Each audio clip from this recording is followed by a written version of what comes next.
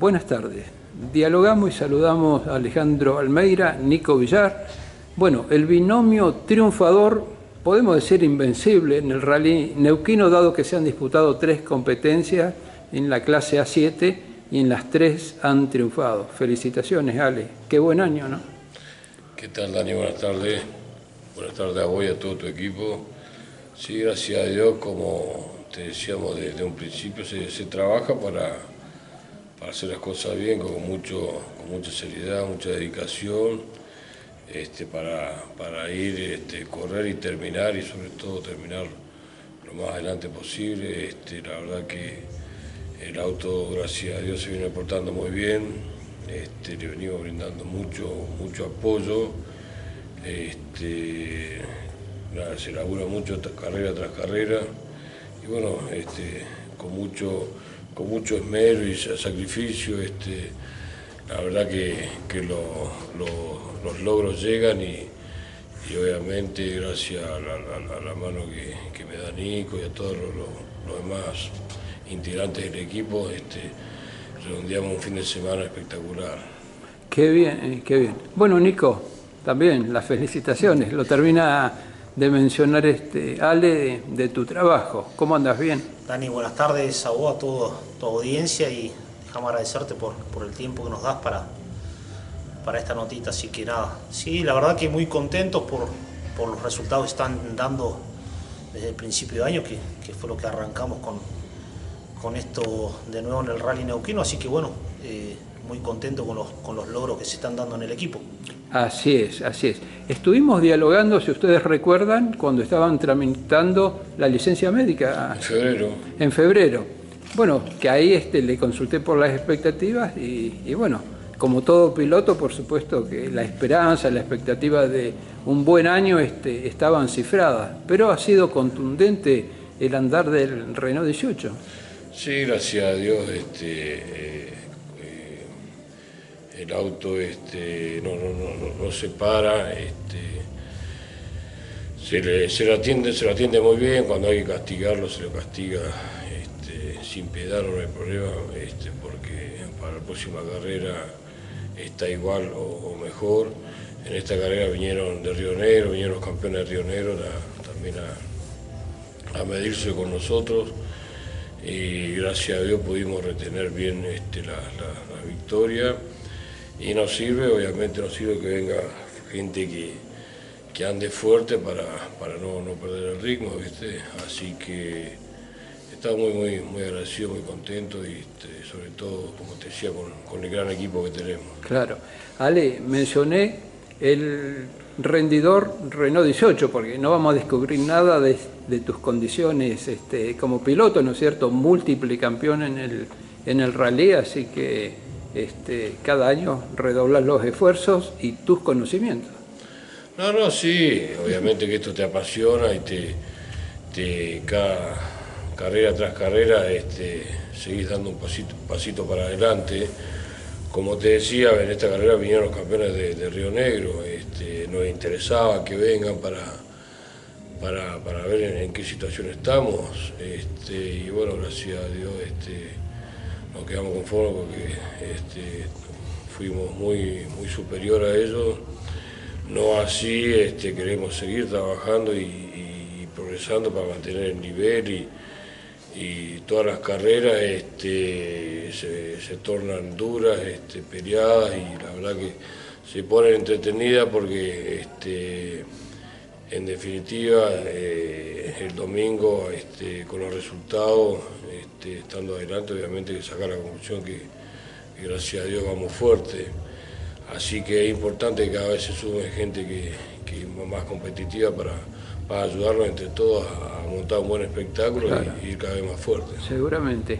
Nico, este, una consulta. ¿Desde cuándo se conocen, podemos decir, no como vecinos de Zapala, sino automovilísticamente, cuándo eh, se unen como binomio, no? Y esto arrancó en el 2019, ¿no? Hiciste la propuesta para, subirnos juntos. Eh, obviamente nos conocemos hace muchos años ya. Claro. Este, la otra vuelta nos acordamos con Caco de una anécdota de, la lechuga que me llevó justo a probarlo. No sé si fue en el 16, 17 por ahí. Que yo le decía a Caco que le iba a sacar la butaca derecha y bueno, así fue. ¿no?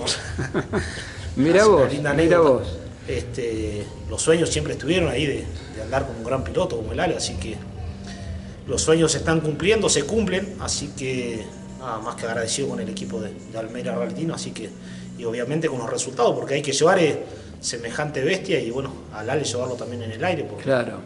se maneja muy bien.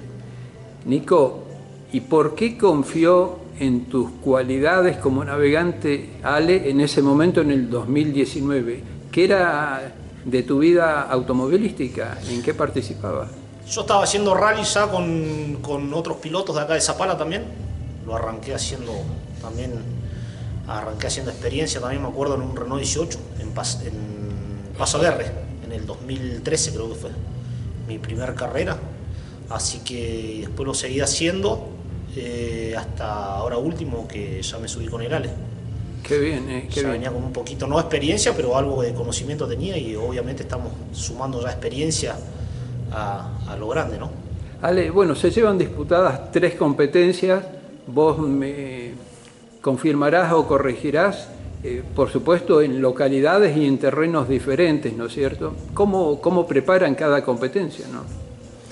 Y no, básicamente se- nos preparamos bien para, para todas la- la- las competencias. En este caso, eh, el Chocón, sabíamos que, o sea, el, he corrido en otras oportunidades, sa- sabía que el piso era bravísimo, que era un piso, se rompe mucho porque no, no son rutas. Nosotros acá estamos acostumbrados en el rally neuquino por lo general por correr por rutas, rutas provinciales, que son rutas tratadas, rutas mantenidas.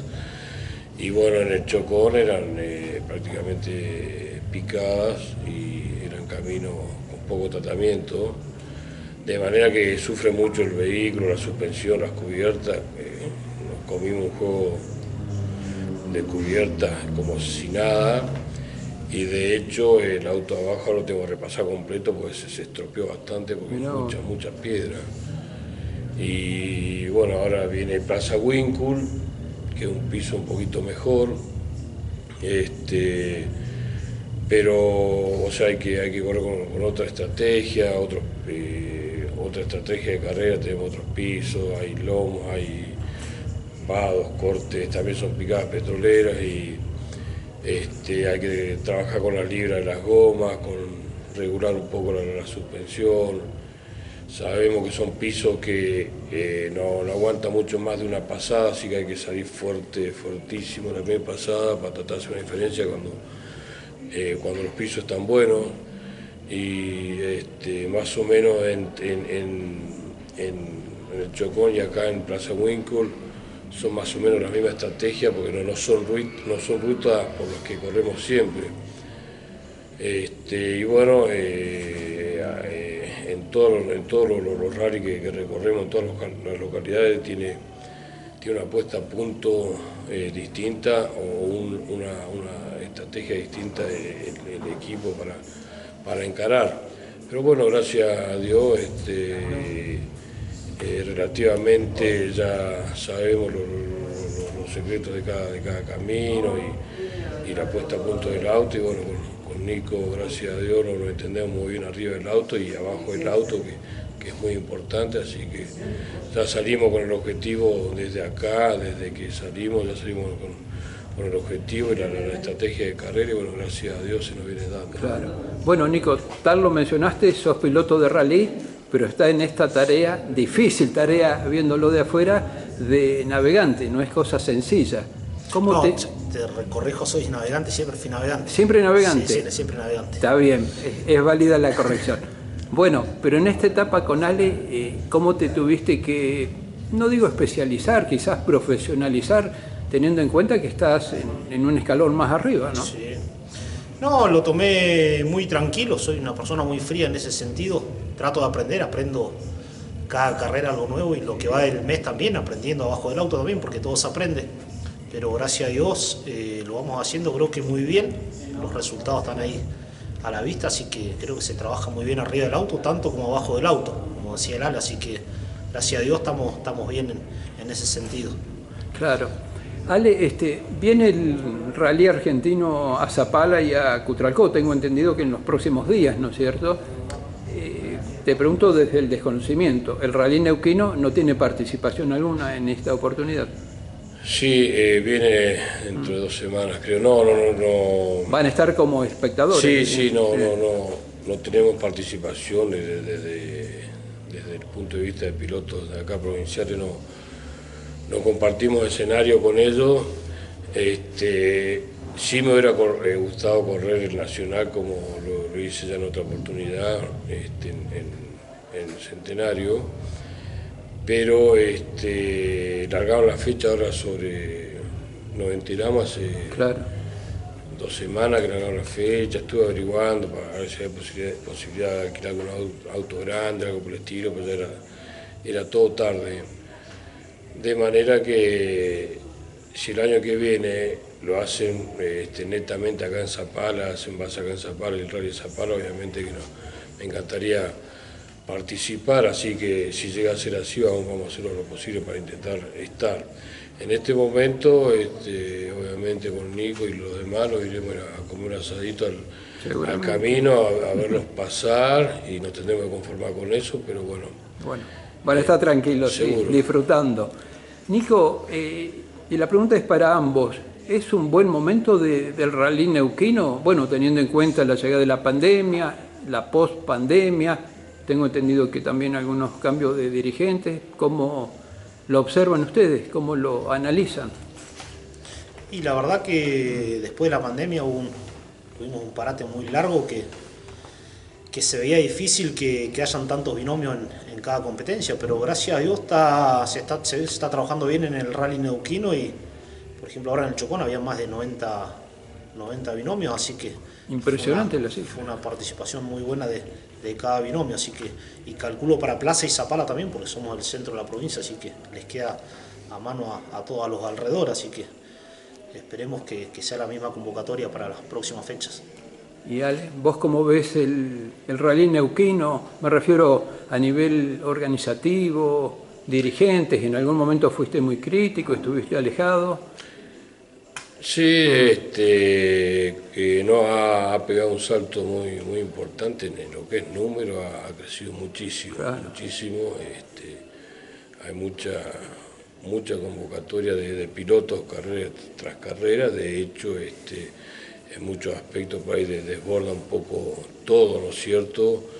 Pero no, este, están trabajando, tratando de, llevarlo adelante, que, no es fácil obviamente, pero de, de una forma u otra este, se están llevando a cabo las competencias que, es importante porque es lo que queremos nosotros correr, ¿no es cierto? Claro, eso es lo importante. Bueno, tramo final de la entrevista, reiterar el agradecimiento, consultarles eh, si pueden graficar a la audiencia principalmente en lo que respecta a la preparación del vehículo, eh, en estos días de impas, dónde está el vehículo, quién lo prepara, ustedes mismos. Sí, eh, el vehículo se prepara netamente en mi casa, en el quincho de mi casa. Ya mañana más tardar lo saco, lo, se lava completo y se entra de vuelta, se desarma completo, se repasa completo todo lo que haga falta. Bueno, tengo que llevar al taller chapa y pintura a Jorgito Forma, que es el encargado de, todo lo que es pintura del auto, que le mando un saludo muy grande. Este, después pasa por las manos de, Nico, que eh, se encarga de todo lo que es envejecimiento del vehículo, lavado, pulido. Este, y después ya, eh, estaría ya en condiciones para, ir a largar, excepto la, carrera pasada que tuvimos que brindar más, más tiempo porque no, nos desarmaron el motor en San Martín de los Andes, bueno, tuve que hacer motor completo, pedir los repuestos a Buenos Aires, este, pedir eh, reparar suspensión, un montón de cosas que nos llevó más tiempo, pero se hace todo netamente ahí, entre, entre nosotros, este, con, muy buena onda y, básicamente ese es el, paso del vehículo en, todo lo que es el, preparativo antes de la carrera, ¿no es cierto? Y bueno, lo demás... No, muy bueno lo que mencionás y tiene un doble valor teniendo en cuenta que preparan todos ustedes. Qué, lindo, ¿no? Qué importante, qué satisfacción. Nico, ¿querés mencionar el resto de integrantes para que no quede nadie afuera? Sí, a todo el equipo, a Pedrito, a Jorgito Forma, que ya lo nombró el Ale, a, a Lito, bueno, a María Inés, que es un- una suma importante del equipo, ella labura mucho abajo del auto, eh, al Bauti, al Facu, eh, que son el hijo y el sobrino del, del Ale, que la verdad que a la edad que tienen, tienen mucha pasión y laburan a la par de nosotros, así que somos un equipo no muy grande en numeración, pero sí en el corazón somos muy grandes, así que se hace toda a pulmón y a corazón. A. Pichu, a Gladys, a, Aldo, mi al viejo. gran Aldo Almeida que le llaman el rally. Muy bien, muy un bien. saludo para Aldito también. reconocer a Aldo. Bueno, Ale, este, Nico, gracias por estos minutos, eh, felicitaciones y No, seguramente... gracias, gracias a vos, Dani. Déjame saludar también, a, agradecer a, a Abraham Neima que nos da una manito, a Petro Zapara, a Toscani, este, no sé quién, a, bueno, a los- al electricista, a Gianfrini, a Gomería Lonco, que son también colaboradores que colaboran en silencio, que también este, suman mucho para, para el equipo, y a todo el público en general, a Zapara que, que nos hace el aguante de alguna forma u otra, ¿no es cierto? Claro, qué lindo.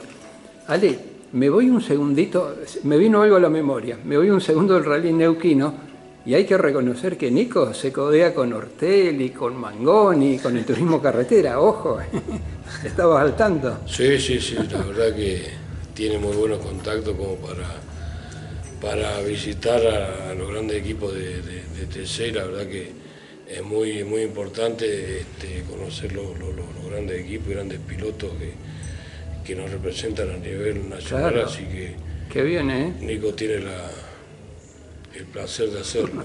¿Cómo fue esa experiencia? Eh, Dani, sí, nos encontramos en La Pampa, la verdad que sí, la verdad que una experiencia linda porque son gente que uno sueña de chico de poder tenerlo ahí, bueno, por los contactos que uno tiene, pudimos llegar a, a ello y tener la invitación de estar en los boxes Qué bien. turismo de carretera, ni nada más ni nada menos que en el JP, y de quien soy hincha yo de, de Chevrolet, así que tuvimos el agrado de estar ahí en los boxes y vivir la final de, de La Pampa, y bueno, eh, la gran alegría de, de haber logrado el 1-2 del JP, así que estoy re agradecido a ellos, a, a Gustavo Lema y a, y a Lillo Ortelli, que la verdad que tuvimos la invitación de estar ahí en, en- en su box. Excelente. Y llenar los Quedamos, ojos, obviamente, eso es una experiencia linda porque uno que anda en el automovilismo observa y absorbe todo lo, lo bueno del automovilismo y, y va haciendo experiencia en, Claro. en ciertas cosas. muy bien, felicitaciones. Quedamos gratamente sorprendidos. Él mencionó hincha de Chevrolet y por lo que veo de River Plate. No sé si estás de en acuerdo. River Plate co- coincidimos, ahí coincidimos, yo soy, yo soy hincha de Ford, Muy bien, muy arriba bien. en, en lo que es TC. Bueno, la rivalidad en el turismo carretera, pero amigos y trabajadores arriba del Renault 18, lo mejor para ustedes. Gracias, Dani, Gracias. nos vemos vos